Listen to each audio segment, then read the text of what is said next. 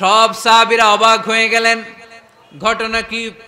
তিন তিনটা ভরা মজলিসে বিশ্বনবী এই সাহাবিকে বললেন, জান্নাতি, আমি যা আবাদত করি তাই তো করো, বরং আমার আরও কম করো। কি এমন তোমার আমল?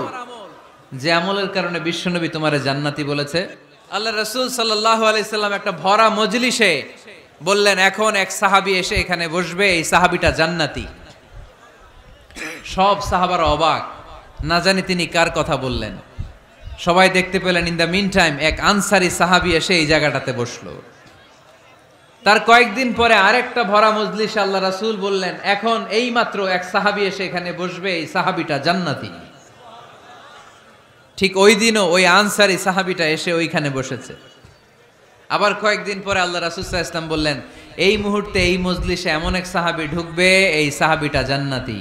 সবাই খেয়াল করে দেখল, ওই যে আনসারি সাহাবির কথা রাসুল ইসলাম আগে বলেছিলেন, ওই সাহাবি এসে ইন দ্য মিন টাইম ওই জায়গায় বসেছে, চিল্লায় পড়েন সুবাহান আল্লাহ সব সাহাবিরা অবাক হয়ে গেলেন। ঘটনা কি? কি এমন গোপন আমল করে এই সাহাবি যে গোপন আমলের কারণে তিন তিনটা ভরা মজলিসে বিশ্বনবী এই সাহাবিকে বললেন, জান্নাতি।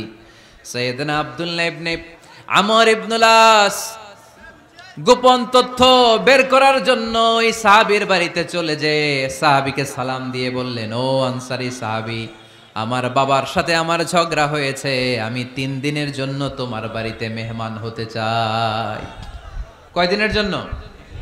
তিন দিন। ওই আনসারি সাহাবি বলল, আহলান ও সাহলান, খুশ আমদেদ, আপনি আমার মেহমান হবেন। এটা তো আমার সৌভাগ্য, আসেন, থাকেন। এই ঘরে আমি থাকি, এই ঘরটা ফাঁকা, আপনি এখানে থাকেন।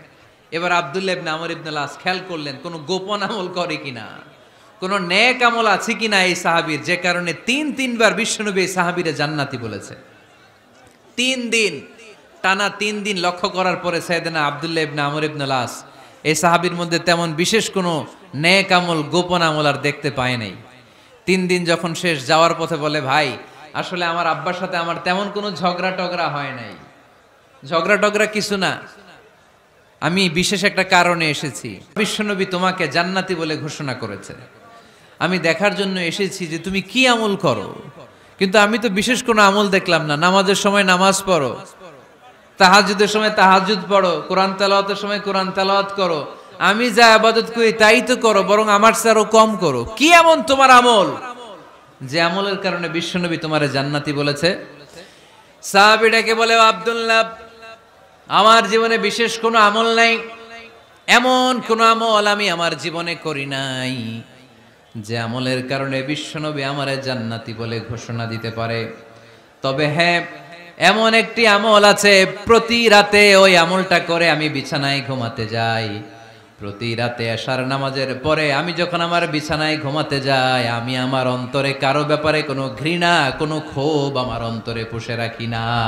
সুবহানাল্লাহ পড়ে কোনো ক্ষোভ, কোনো ঘৃণা, কোনো হিংসা, কারও ব্যাপারে অহংকার জেলাসি এগুলো অন্তরে নিয়ে আমি ঘুমাই না। আমি যখন ঘুমাতে যাই, আমি সবাইরে ক্ষমা করে দিয়ে, মাফ করে দিয়ে ঘুমাতে চলে যাই।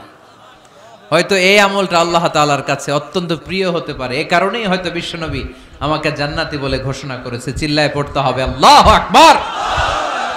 এজন্য রাতের বেলায় যখন বিছানায় যান, সব ভুলে যান। কে গালি দিছিল ভুলে যান। কে ঠকাইছিল ভুলে যান?